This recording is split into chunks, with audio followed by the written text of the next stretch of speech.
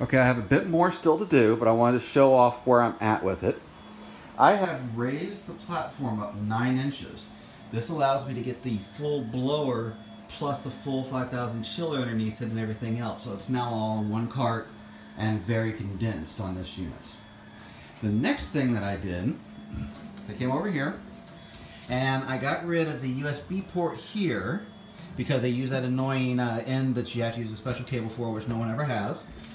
And I switched that over and I took out the plugs on the back and put in a standard USB jack on the back there. You'll also notice I put the power for the machine on the back here and I have a 3D printed plug for that. I have coming in a, uh, for the other blank that's here, uh, a ethernet cable. This is where the old plugs used to be. I got rid of that and opted for a power strip that has um, the uh, control circuit. So that what happens is, is that it powers on and turns everything else on with it, the chiller and the pump and all that stuff. I went that way because I, got, I did not want to have all that power inside uh, with interference and frankly the wiring they put inside of it was way too thin. So I got rid of all of that to pull all those wires out.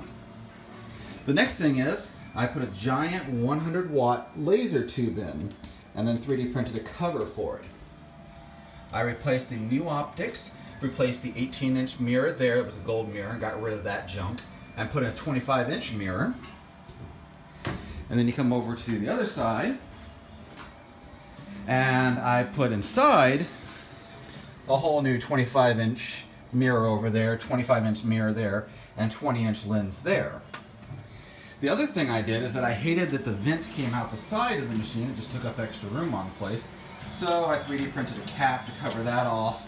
I sealed off the holes on the inside and I put the vent on the back door.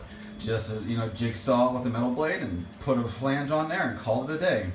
So now it just goes straight out, straight underneath, and then back out and then out the window right there. But here's what I wanted to show you is that as soon as I power it on, Everything's going to power up with it. There goes the chiller, the pump, the compressor, everything like that. Watch it snap into place. Now watch this.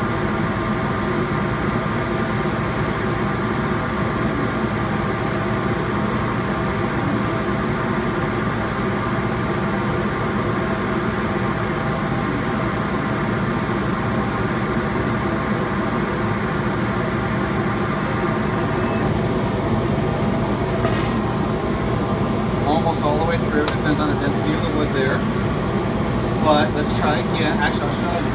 I did this little test earlier. And that is three quarter inch thick. It's a one by four. Three quarter inch thick. Nice, straight, no curve. Ready to go. Let's do that one more time. Let's choose uh, right over there. Looks good.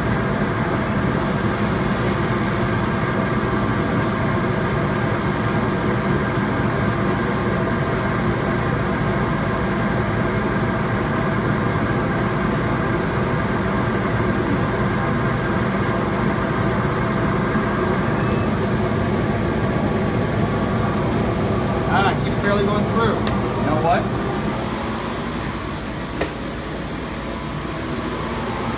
This one was probably just a little less dense, so let's go do that one.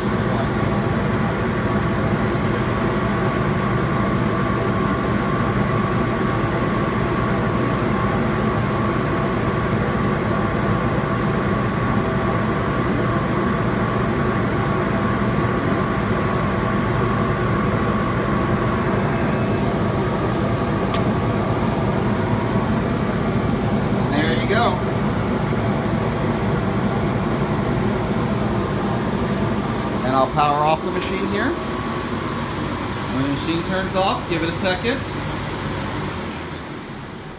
And the pump all goes down. I'm very happy. Five millimeters a second. That's pretty darn fast to get through three quarter inch. With a 100 watt tube, 25 millimeter mirrors, and a 20 millimeter 63.5 millimeter lens. Not too shabby.